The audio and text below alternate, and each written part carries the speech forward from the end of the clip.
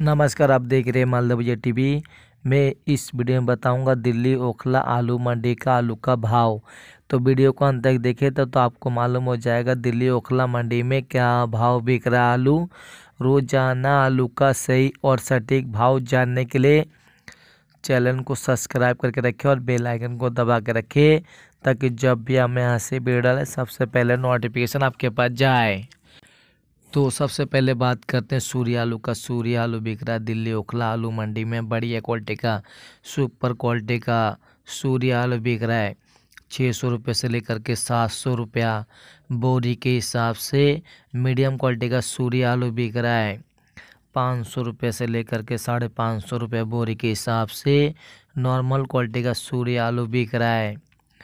चार सौ रुपये से लेकर के साढ़े चार सौ, पाँच सौ रुपया बोरी के हिसाब से बिक रहे क्वालिटी अनुसार, क्योंकि आलू का जैसे क्वालिटी होता है उसी हिसाब से बिकता है। इसके बाद बात करते हैं चिप्सन आलू का चिप्सन आलू बिक रहा है, ओखला मंडी में बढ़िया क्वालिटी का, सुपर क्वालिटी का, पाँच सौ रुपये से लेकर के छः सौ, सवा छः सौ रुपये बोरी के हिसाब से मीडियम क्वालिटी का चिप्सन आलू बिक रहा है ओखला मंडी में।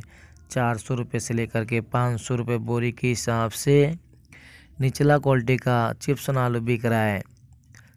साढ़े तीन सौ रुपये से लेकर के चार सौ रुपये बोरी के हिसाब से बिक रहा है क्वालिटी अनुसार, क्योंकि आलू का जैसे क्वालिटी होते हैं, उसी हिसाब से बिकते हैं। तो दोस्तों, मंडियों में क्या होता है कि जो आलू बहुत ज़्यादा ख़राब निकलते हैं बोरियों में, वो हमेशा आलू सस्ता बिकता है, और जो बढ़िया क्वालिटी का आलू होता है, लगभग वो अच्छा खासा भाव में बिकते रहते हैं मंडियों में। सैंतीस आलू की बात कर तो सैंतीस आलू बिक रहा है। बढ़िया क्वालिटी का, सुपर क्वालिटी का। तीन सौ रुपये से लेकर के चार सौ रुपया बोरी के हिसाब से बिक रहा है। बढ़िया क्वालिटी का, सुपर क्वालिटी का, मीडियम क्वालिटी का सैंतीस आलू बिक रहा है।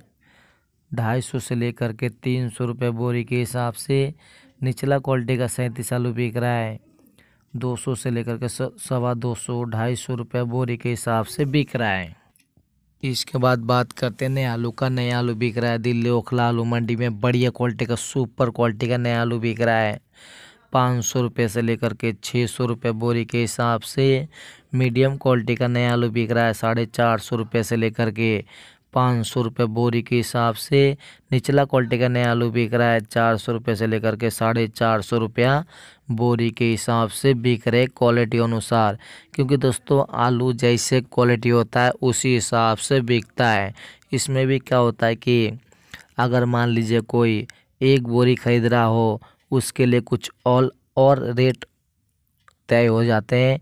या मान लीजिए कोई अगर पूरा गाड़ी आलू खरीद रहा हो उसके लिए भाव कुछ और होते हैं तो आप समझ सकते हैं मंडियों में कैसे आलू का भाव में ऊपर नीचे होते रहता है। मान लीजिए कि जैसे आपको मैंने बता दिया है कि एक गाड़ी अगर कोई पूरा आलू खरीदता है, उसमें किसान और आरती जो होते हैं बेचने वाले, उसमें एडजस्ट होने के बाद भाव तय हो जाते हैं।